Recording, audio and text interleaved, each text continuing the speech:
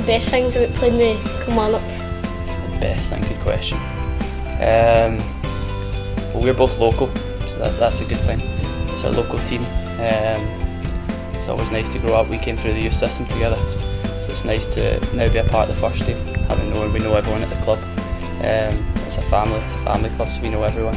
Um, and just the best things, just being a footballer, it's a great job.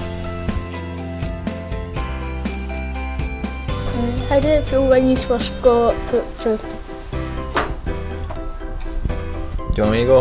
Um, yeah, it was it was amazing. It was a dream come true for me because I was I was um, I was 16 at the time, I think. So uh, I don't think you, you quite take in what's happened um, until maybe you've you've been in and about it. But as I say, it was it was just a dream come true, and, and to just say you played one game as a professional footballer was was amazing.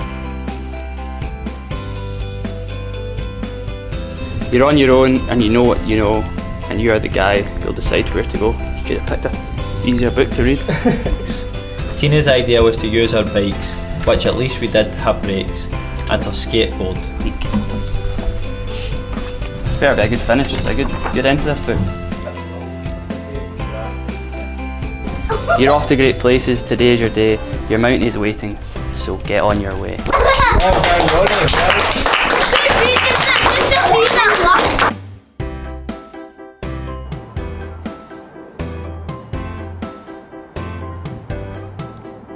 Yeah!